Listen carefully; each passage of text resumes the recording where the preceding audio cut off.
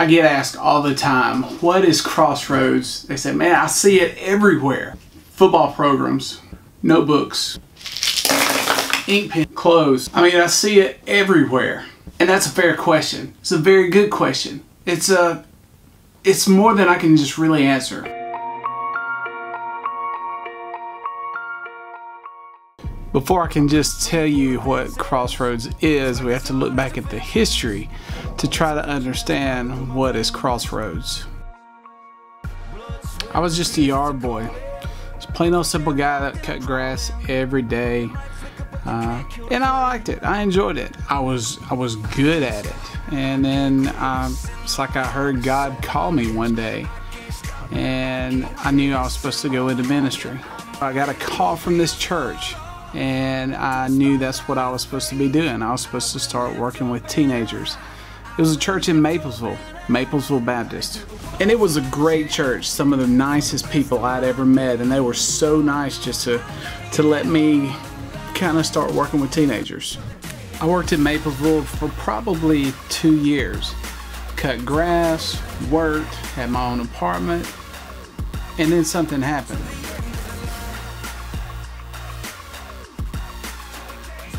It was a church I was familiar with because it was the place where I grew up.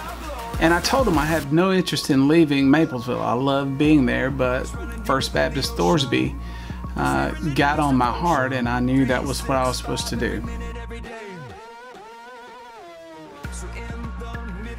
So I accepted the call to First Baptist Thorsby. And I was still cutting grass. I'd been at Maplesville, was bivocational, meaning I had two jobs. And then I went to my home church where I had grown up at First Baptist Thorsby. And I loved it there. I knew all the people. I grew up there and it was great.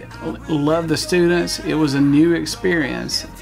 In 1997, I got a call. And again, I said, I have no desire to leave where I am. I love being at home.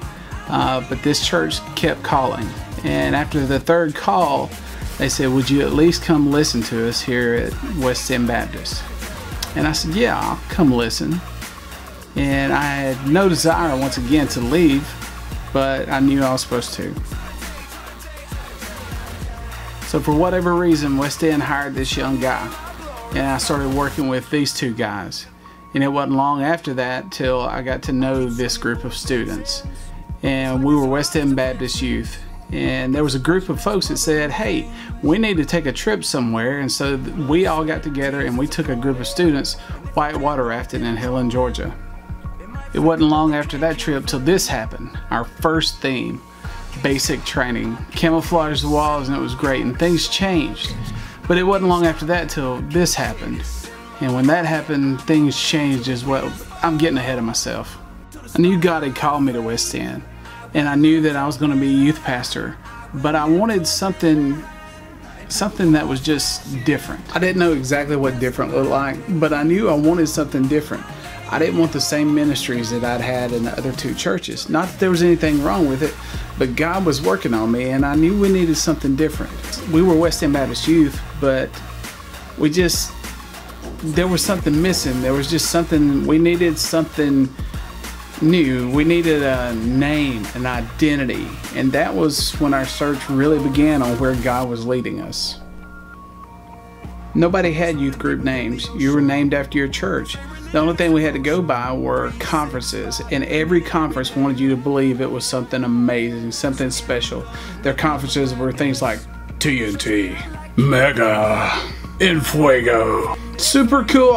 It, it just it didn't work. One Saturday morning, I'm cleaning my apartment, and when I cleaned the apartment, of course, I had the music blasting. And as the music was blasting, I just kept. There was this group, and I kept listening to the same song over and over again. And and the group was probably not the best group, but they were Bone Thugs-n-Harmony.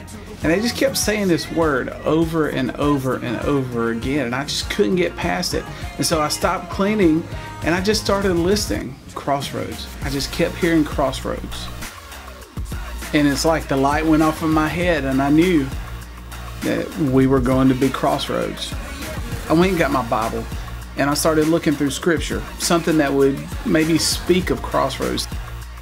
God showed me the scripture And that's how Crossroads began. But there was something kind of missing.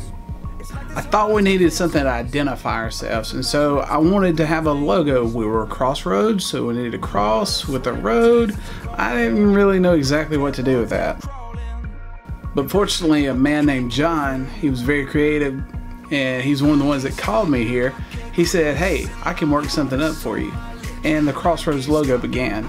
The logos changed throughout the years we started out with one, then it changed to something else, and Master Chief became part of it because it was a cool video game going on at the time, and he even came and had Christmas with us. Uh, but then, you know, God started working in me and changing things in me, and so we came to the logo that you see today. And then there are t-shirts. T-shirts. Don't. Uh, so many t-shirts. Crossroads is something that's been 20 plus years in the making, and it's changing every day. New faces coming in all the time. The ministry is evolving even as we speak. New faces right here, right now, and we're excited about that. But at the same time, we've got those memories.